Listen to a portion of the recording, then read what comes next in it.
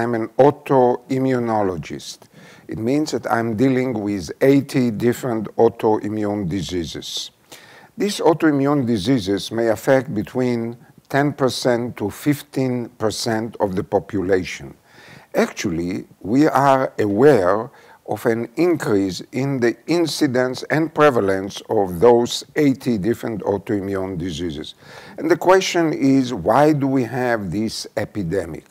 And it seems that this symposium, which combined the infections and vaccination um, subject together with the uh, incidence of autoimmune diseases, alludes to the idea that some infecting agent as well as vaccine may be associated with some of the increase.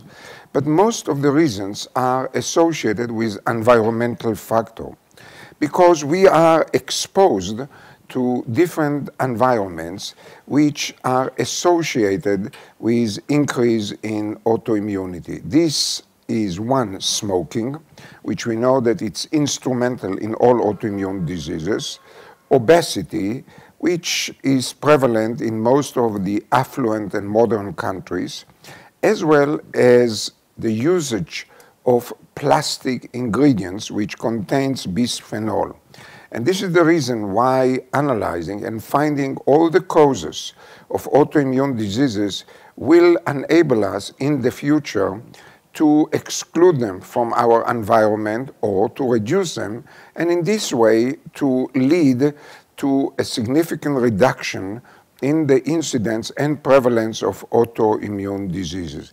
And this is the reason why we have also congresses of autoimmunity to discuss this epidemic and the different causes for the disease. And in this specific uh, Congress of WAidid, uh, it is the combination of the three subjects which uh, together may um, improve our understanding of autoimmunity.